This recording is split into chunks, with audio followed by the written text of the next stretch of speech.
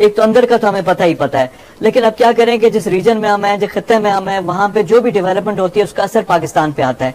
अब क्योंकि आप बड़ा इसको क्लोजली फॉलो भी कर रहे हैं you are the one who pointed this out जो इंडिया के दरमियान जो हो रहा है, उससे पूरा खत्ता डिस्टेबलाइज हो रहा है। तो क्या सवाल एक दफ़ा फिर कि जंग का खदशा मौजूद है इंडिया चाइना पाकिस्तान के ऊपर क्या असर आ सकते हैं? क्योंकि we are close to China ऊपर से यूएस के इन्वॉल्वमेंट बैक कर रहा है इंडिया को। हो रहा क्या इस रीजन में? चाइना ने अभी जो है एक, इसकी इम्पोर्टेंस ये है और बड़ा अच्छा कर रहे हैं कि आपने इसको इसको, इस इशू को रेज कर रहे हैं, क्योंकि पाकिस्तान में उस तरह की डिबेट नज़र नहीं आ रही जितना इंपॉर्टेंट है।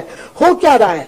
हो ये रहा है कि दो तीन चीज़ें हो गई हैं कि इस वक्त पूरे खत्े में एक किस्म का स्ट्रेटेजिक रीअलाइनमेंट हो रहा है।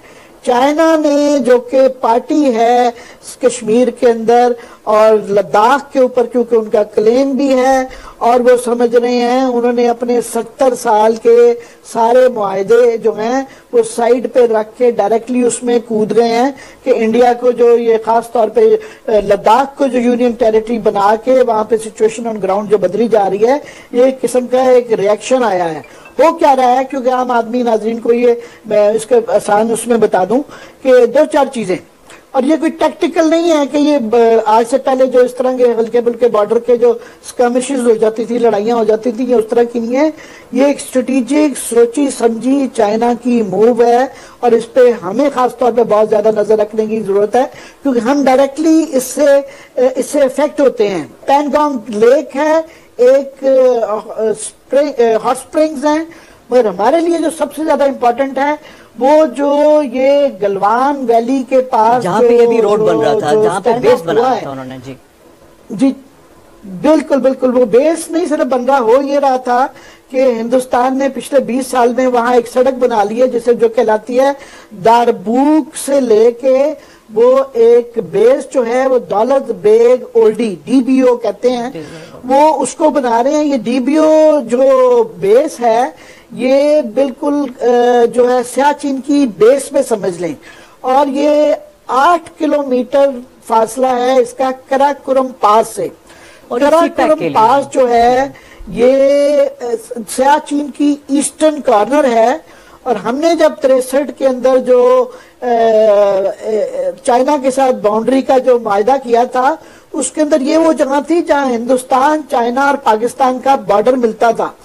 तो ये बिल्कुल उसके करीब जो है, हिंदुस्तान ने जो है, सारी जो सिचुएशन जो है, लद्दाख की बदलने की कोशिश की हुई है कि खासतौर पर ये जो सड़क है तो चाइना ने क्या किया है कि उन्होंने ये गलवान रिवर यूँ आके लगता है इसकी शायक रिवर के साथ। तो शायक रिवर के साथ ये 250 किलोमीटर की सड़क बनाई और उसके बाद पिछले साल जो इनके डिफेंस मिनिस्टर राजनाथ सिंह साहब इसको इनाग्रेट किया। तो ये ये, उन्होंने वहाँ पे हाइट्स पे आके वो इनका जो सारा मंसूबा था, जो कि हमें डायरेक्टली सियाचिन को भी इफ़ेक्ट करता था। दूसरा खतरा ये था कि फ्यूचर में ये वाला इंफ्रास्ट्रक्चर जो है, अगर कोई सी पैक के लिए या पाकिस्तान के नॉर्दर्न एरियाज़ में इन्होंने कोई इंकर्जन की तो ये बिल्डअप जो है, उसके अंदर इस्तेमाल हो सकता था। ना सिर्फ़ ये हमें इफ़ेक्ट करता था ये और हम हमें करने का मतलब सी पैक भी क्योंकि अब चाइना डायरेक्टली इन्वॉल्व है चाइना को भी करता था और चाइना की जो बॉर्डर है उसको भी इफ़ेक्ट करता था। तो वो उन्होंने कहा जनाब कि ये आप वायलेट कर रहे हैं क्योंकि हिंदुस्तान लद्दाख के अंदर खास तौर पे कुछ तैतीस सौ किलोमीटर की सड़कें बना रहा है फिर एक रेलवे लाइन का भी मंसूबा है फिर ये एक सड़क बना दी है फिर एक पैनगोंग लेक के पास एक सड़क बना रही है।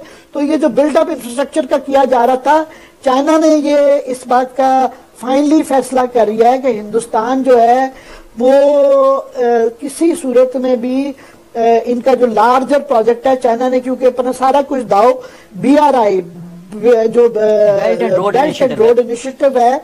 जिसका सी पैक हमारा एक कॉरिडोर एक हिस्सा है। एक उस तरह के पाँच और कॉरिडोर भी हैं।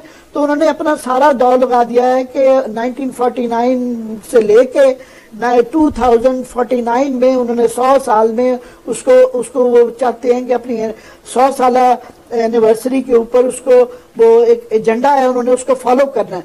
और वो इस नतीजे में पहुँचे हैं कि हिंदुस्तान उसकी मुखालफत कर रहा है। हिंदुस्तान ना सिर्फ़ के ये बिल्डअप कर रहा है बैकिंग भी है बैकिंग को बहुत ज़्यादा अपोज किया और बादशाह डैम और डायमंड डैम की पोजीशन की। तो ये सारी चीज़ें देखते हुए चाइना इस नतीजे पे पहुँचा है कि हिंदुस्तान किसी सूरत में भी इस मामले में जो है चीन का ना सिर्फ़ साथ देगा, बल्कि मुखालफत कर रहा है। जी, बड़ा इंपॉर्टेंट आपने आमिर साहब बड़े अच्छे तरीके से समझा भी दिया, क्योंकि ये स्ट्रेटेजिक ये सिर्फ़ इंडिया और चाइना का मामला नहीं है इंटरनेशनल नोयत का ये चीज़ है। पाकिस्तान के लिए भी जो सी पैक की हसासियत है, अगर इंडिया इतना करीब आ जाता है, नुकसान है हमारे लिए, वो भी देखना होगा। And this is a very serious matter